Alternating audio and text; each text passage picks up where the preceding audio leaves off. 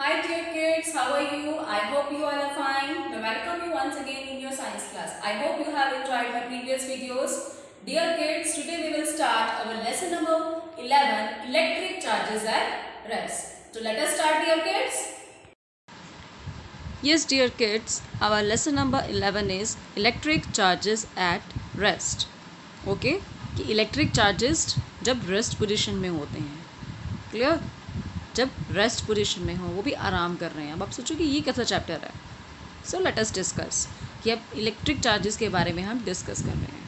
Okay okay? इसमें electricity के बारे में डिस्कस करेंगे, जो जो कि प्रोड्यूस होती है through the rest position okay वो मूव नहीं करती, वो एक जगह पे ही रहती है। इसीलिए हम उसको बोल रहे हैं electric charge at rest clear my dear kids now all of us might have experience some someone or the other saying oh no again what shall we do without electricity it is again going to be an uncomfortable summer day as you know आजकल बहुत गर्मी है summer season है and summer season में suppose if you have not any inverters अगर आपके घर पर इन्वर्टर्स नहीं हैं ओके मे बी इन्वर्टर है और वो ख़राब हो गया है. और in that case light has gone light चली जाए. एंड वट विल हैपन क्या होगा? और वो जल्दी से ना आए. अब कितने परेशान हो जाते हो? आप कहते हो ओ नो कि अब इतनी गर्मी और ऊपर से लाइट चली गई. हमारा तो इन्वर्टर भी ख़राब है. या हमारे घर में इन्वर्टर नहीं है. No what will we do अब हम क्या करेंगे? और वो लाइट या इलेक्ट्रिसिटी जो गई है सपोज़ अगर वो टू थ्री आवर्स तक ना आए, तब तो और भी बुरा. है ना? बिकॉज़ अगर हम अपने घर की बात करें हम अपने अप्लाइंसेस की बात करें अपने आसपास के सराउंडिंग की बात करें everything will depend on electricity okay हम हर जगह से कहाँ से घिरे हुए हैं? इलेक्ट्रिसिटी से घिरे हुए हैं. हमारी डे टू डे लाइफ में इलेक्ट्रिसिटी एक बहुत इंपॉर्टेंट रोल प्ले करती है. है ना kids yes dear kids here is a picture given of an house अब यहाँ पे आप इस पिक्चर में देखिए everyone is doing on the work like he is doing she is doing work on computer she is doing ironing on her clothes वो iron कर रही है अपने कपड़े, है ना? यहाँ पे ये लेडी वॉश कर रही है वॉशिंग मशीन में clothes and that boy is reading in the light and both of these are watching T V okay so all of these appliances which they are uses जितने भी appliances वो use कर रहे हैं, वो सभी किस पे डिपेंड करते हैं, किससे रनिंग कर रहे हैं? With the help of electricity आपके घर में बल्ब्स हैं ट्यूब लाइट्स हैं एल हैं, ठीक है? स्ट्रीट लाइट्स हैं हमारे घर में रेफ्रिजरेटर्स हैं फ़ैन हैं एवरीथिंग इवन आप जो फ़ोन यूज़ करते हैं, वो भी किससे यूज़ हो रहा है? क्या यूज़ करता है?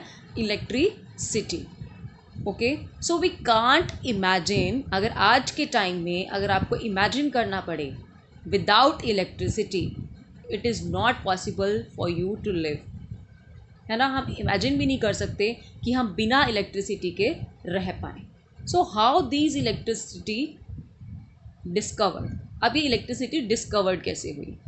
Okay okay? और इस बात से आप इतने सारे एग्जांपल्स जो मैंने आप दिए, आप इससे ये अंदाज़ा लगा सकते हो। You can guess that how it is very important for us if you want to travel आप ट्रैवल करते हो एक प्लेस से दूसरे प्लेस पे, है ना? और आप कंप्यूटर पे वर्क करते हो तो सभी आपके घर में मोटर्स चल रही हैं पानी की, या फिर आपकी कन्फेक्शनरी में है, और बहुत सारी फैक्ट्रीज़ हैं जो आपकी रनिंग कर रही हैं, या आपका अगर एग्रीकल्चर की बात करें एवरीथिंग हर फ़ील्ड में इलेक्ट्रिसिटी जो है वो यूज़ होती है।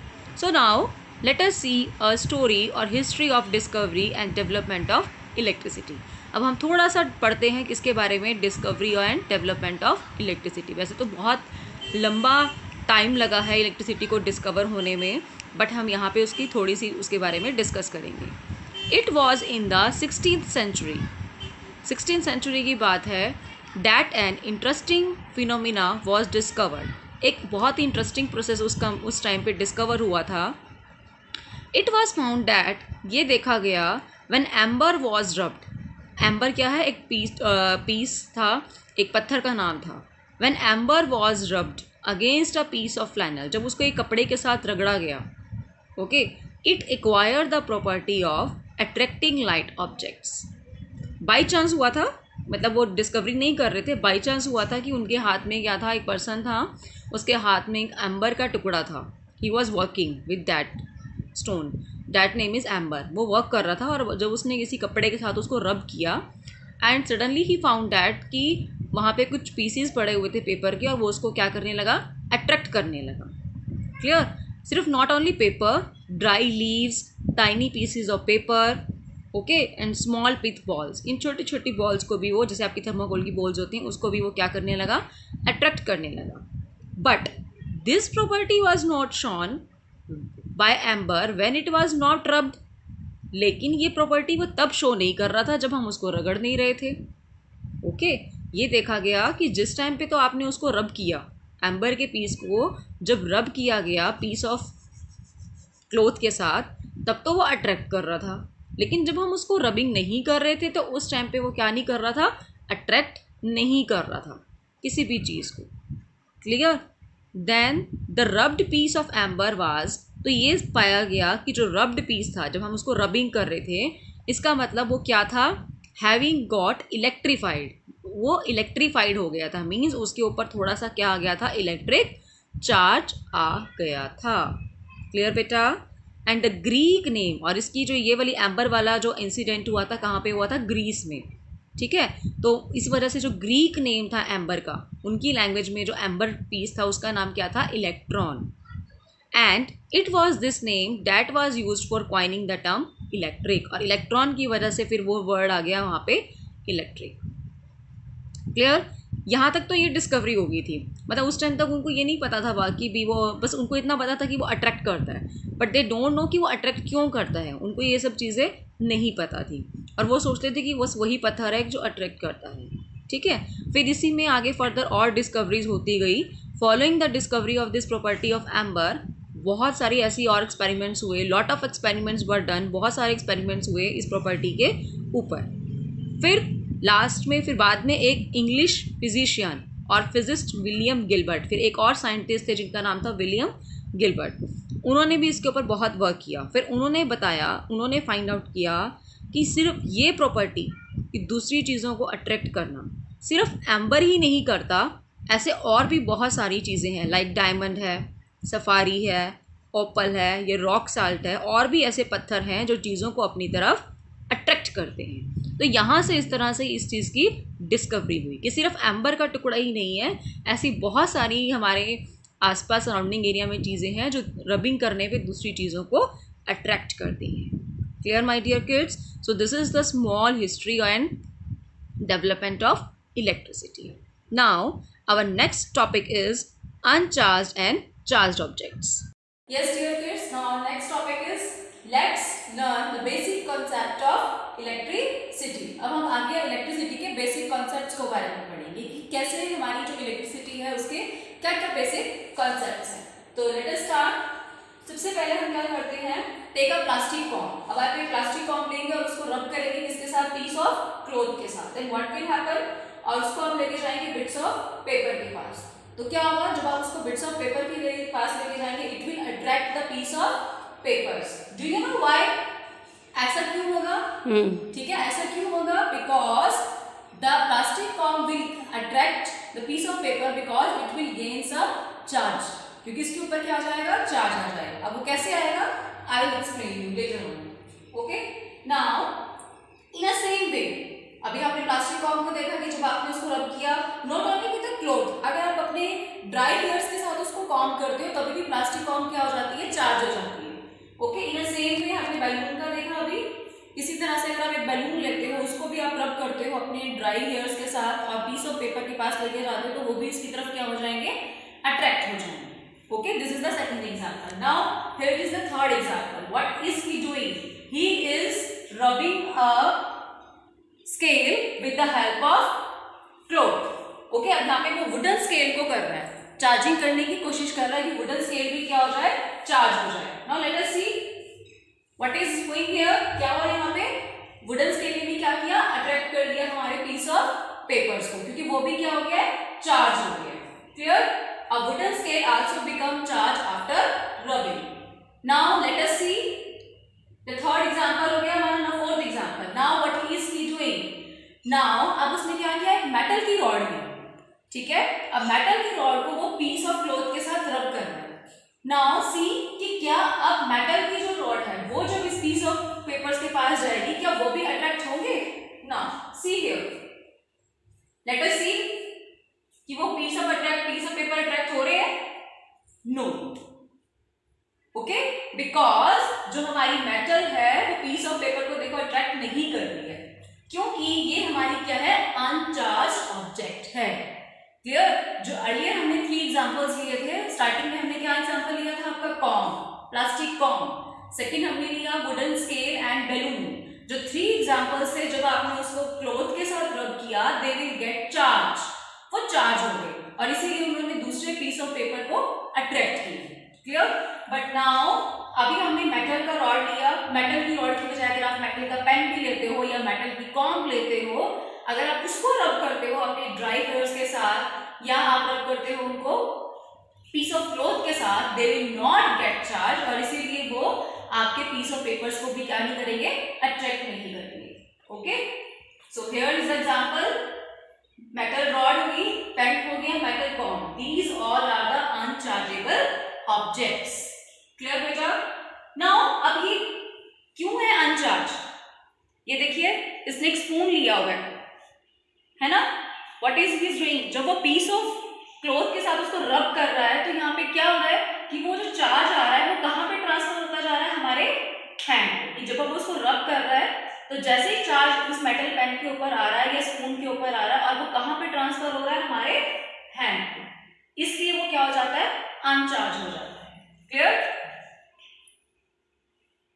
लेट अस सी देखिए आप वहाँ पे, वो ट्रांसफ़र होता जा रहा है चार्ज और इसीलिए वो क्या हो जाता है? Uncharge now in case of these cases अगर हम इन तीनों केसेस की बात करते हैं, इन तीनों केसेस में क्या हो रहा है? आपका, जब हम उसको रब करते हैं तो वो हमारे हाथ में ट्रांसफ़र नहीं होता। जब आप पीस ऑफ़ स्केल को लेते हो, या लुक एट अब आपका जो चार्ज है, वो ट्रांसफ़र नहीं हो रहा है। क्लोथ का चार्ज क्लोथ पे रहता है उसका चार्ज उसी पे ही रहता है। क्लियर बेटा? कि मेटल के केस में आपके जो मेटल सॉरी प्लास्टिक वाला जो आपका कॉम है बैलून है या स्केल के केस में जब आप उसको रबिंग करते हो तो वो जो चार्ज है वो हमारे हैंड्स में ट्रांसफ़र नहीं होता। ओके वो उसी के ऊपर रह जाता है इसीलिए वो दूसरे वाले चार्ज ऑब्जेक्ट को अट्रैक्ट करता है। क्लियर बेटा? स्टॉप कर लो Dear kids, now our next topic is electrical conductor and insulators. Okay, and before start our topic, we will do an activity. अब हम एक छोटी सी एक्टिविटी देखते हैं. See here, let us perform an activity. Here is a cell connected with a switch and a bulb. Okay. Now when we switch on the cell, अपने यहाँ cell से कनेक्ट किया हुआ है. Okay okay? और की इंसर्ट की हुई है और एक बल्ब है हमारे पास और कनेक्टिंग वायर्स हैं. अब जैसे ही हमने यहाँ से की को ऑन किया अब हमारा बल्ब क्या कर रहा है ग्लो बल्ब इज़ ग्लोइंग क्योंकि उसमें से इलेक्ट्रिक करंट फ्लो कर रहा है नाउ अब हम यहाँ से क्या करेंगे? हमने पीस ऑफ़ वायर को बीच में से क्या कर दिया? कट एंड इन दोनों कनेक्टिंग वायर्स के बीच में हमने क्या लगा दिया एक iron nail okay now let us see जब हमने आयरन नेल को कनेक्ट कर दिया तो बल्ब हमारा ग्लो कर रहा था। अब हमने, जब हमने वुड के पीस को कनेक्ट किया तो हमारा बल्ब जो है वो ग्लो नहीं कर रहा। क्लियर बेटा? लेट अस सी हियर जब आपने आयरन नेल को दोनों वायर्स के बीच में रखा तो बल्ब हमारा क्या करेगा? ग्लो करेगा। लेकिन, जब आप वुड का पीस रखेंगे तो हमारा जो बल्ब है, वो ग्लो नहीं करेगा। क्लियर बेटा? Why does this difference occur in case of iron nail and wood? अब, ये दोनों तरह का जो डिफरेंस है कि एक में वो ग्लो कर रहा है और एक में वो ग्लो नहीं कर रहा है bulb why is this difference ये ऐसा डिफरेंस क्यों है? Okay okay? अब डिफरेंस क्यों है? क्या रीजन है इस डिफरेंस का? लेट अस स्टडी दिस अब हम ये पढ़ते हैं। क्योंकि आयरन नेल में से क्या हो रहा है आपका? करंट फ्लो कर रहा है। ओके और जो वुड वाला जो पीस था, उसमें से आपका करंट फ्लो नहीं कर रहा था। अब उसी के बेसिस पे हमारा जो आज का टॉपिक है, वो है कंडक्टर एंड इंसुलेटर्स ओके क्योंकि इनमें से एक ऐसा ऑब्जेक्ट है जिसमें से करंट पास कर रहा है, और एक ऐसा ऑब्जेक्ट है जिसमें से करंट फ्लो नहीं कर रहा। तो जिसमें से करंट फ्लो नहीं कर रहा था, वो कौन था हमारा? वुड और जिसमें से करंट फ्लो कर रहा था आयरन तो उसी के बेसिस पे हमने हमारे आज के टॉपिक को डिस्कस करना है conductor and insulator clear, kids? Now, next is we have seen in activity कहता आपने इस एक्टिविटी में देखा कि जब आपने आयरन नेल से कनेक्ट किया, दोनों कनेक्टिंग वायर्स को तो बल्ब जो कर रहा था वो ग्लो कर रहा था, है ना? बल्ब क्या कर रहा था? ग्लो देखो करंट पास हो रहा है and the bulb starts glow जैसे ही करंट यहाँ तक पहुंचेगा, अब बल्ब क्या करेगा? ग्लो करेगा. क्लियर अब इसके बेसिस पे हमने हमारे मटेरियल्स को डिवाइड कर दिया है टू कैटेगरीज में. Number one is conductor number two is insulators clear now, what are conductors? Conductor क्या है? Conductors are the materials that allow electricity to pass through them. Conductor क्या होते हैं? ऐसे मटेरियल्स जो अपने में से इलेक्ट्रिसिटी को पास होने देते हैं. They are known as conductors like these wires अब इसमें से इलेक्ट्रिसिटी पास हो रही है. और अनदर एग्जांपल्स क्या है कंडक्टर के? लेट अस सी हियर और कौन कौन से एग्जांपल्स हैं? Aluminium copper, gold, iron, nickel, sulfur, zinc. Okay, so these are the some common examples of conductor. Human body is also example of conductor.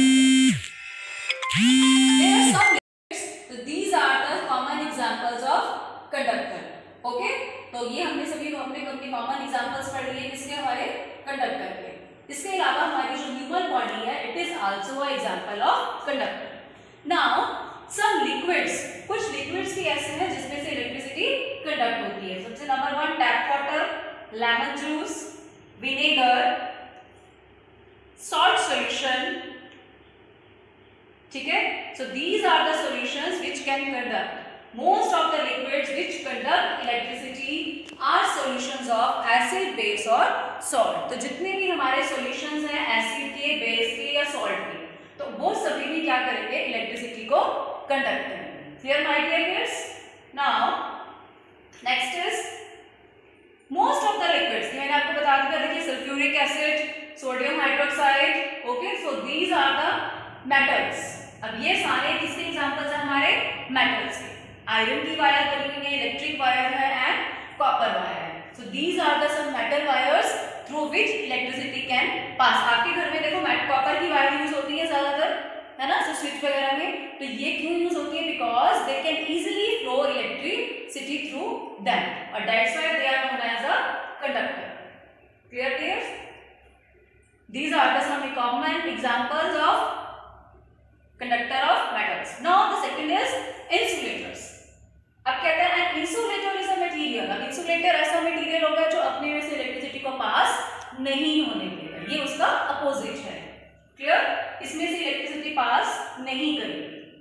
Clear kids कहता है कि ये these are the some examples through which electricity can not pass अब इसके examples देखते हैं हम। Plastic rubber wood cloth glass cotton thermocol, paper. Okay, so these are the some solids. Now there are some liquids also which act as an insulators. Number one is distilled water, honey. Okay, these are the examples of milk, vegetable oil. These behave as insulators. Okay, उसके बाद कहता है N insulating material अब आपने देखा होगा आपके घर में जो वायरिंग होती है ठीक है कॉपर की जो वायर है वो सीधा कॉपर वायर तो नहीं होती, इसके ऊपर क्या होता है? प्लास्टिक की कवरिंग होती है। ये प्लास्टिक कवरिंग होती है ना ऊपर? तो वो क्यों होती है? क्योंकि ये प्लास्टिक कवरिंग को अगर आप टच करते हो, आपको करंट नहीं लगता। Because it is act as an insulator ये इंसुलेटर की तरह वर्क करती है। ये आपको करंट पास होने नहीं देगी लेकिन if you touch directly to the copper wire तो वो आपको करंट लगाएगी। आपको उससे करंट लगेगा। Why because it is a example of conductor वो इलेक्ट्रिसिटी को पास करती है। Clear kids now the next one is तो ये हमारे कॉमन एग्जांपल्स हो गए कि आपका जो प्लास्टिक की कवरिंग है। Kids now let us do an activity अब हम यहाँ पे एक्टिविटी कर रहे हैं। किस किस चीज़ को लेके? Copper iron aluminium rubber wood and अब यहाँ पे आपको अरेंजमेंट शो किया हुआ है। Here is an bulb switch battery और यहाँ पे गैप छोड़ा हुआ है। Now what you have to do you have six things आपके पास सिक्स चीज़ें हैं प्लास्टिक है वुड है रबड़ है now here is copper iron and aluminium what you have to do आपको वन बाय वन इस पीस को यहाँ पे क्या करना है अरेंज करना है एंड सी आपको you have to see that bulb will glow or not आपको ये देखना है कि बल्ब ग्लो कर रहा है या नहीं कर रहा है. क्लियर किड्स यस सबसे पहले हमने क्या लिया? कॉपर ठीक है कॉपर के केस में आपका बल्ब ग्लो किया। ये हमारा कॉपर पीस था कॉपर केस में हमारा जो बल्ब है, देखिए वो क्या किया था? ग्लो किया था। ओके तो इसका मतलब कॉपर क्या है? कंडक्टर है। नेक्स्ट इज़ अगर हम नेक्स्ट लेते हैं अब कॉपर हटा दिया हमने, अब हमने क्या लिया? Plastic plastic is an insulator plastic insulator है तो आपका बल्ब जो है वो ग्लो नहीं करेगा। Now the next one is अब नेक्स्ट हम क्या लेते हैं? Iron iron is a conductor so bulb will glow iron आपका कंडक्टर है तो इसीलिए वो बल्ब ग्लो कर रहा है. नेक्स्ट नेक्स्ट अब आप क्या लेंगे? नेक्स्ट अब आपने क्या आंसर लेना इसमें आप? वुड वुड के केस में देखिए बल्ब नहीं ग्लो कर रहा क्योंकि वो इंसुलेटर है. एल्यूमिनियम के केस में वो ग्लो कर रहा है क्योंकि वो कंडक्टर है. अगेन रबड़ के केस में वो ग्लो नहीं करेगा क्योंकि वो इंसुलेटर है dear kids kids our next topic is about nature of charges आपने जो चार्जेस पढ़े हैं, वो टू टाइप्स के होते हैं। कुछ पे आता है और कुछ पे नहीं आता। अब कैसे आता है?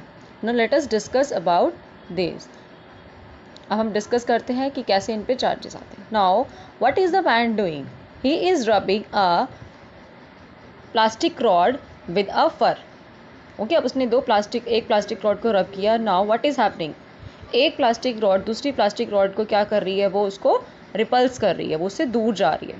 Now what we have to do अब हमने एक ग्लास रॉड लिया है, ठीक है, वो उससे दूर जा रही है। जब उसके पास लेके जाने की कोशिश कर रहे हो, वो उसके पास नहीं जा रही, वो उससे दूर जा रही है। Now what the man is doing now he is rubbing a glass rod अब वो ग्लास रॉड के सिल के साथ रब कर रहा है। और उसके पास अब किसको लेके आया है, वो प्लास्टिक रॉड अब वो देखो, जिस डायरेक्शन में आपका प्लास्टिक रॉड की तरफ़ वो अट्रैक्ट हो रही है।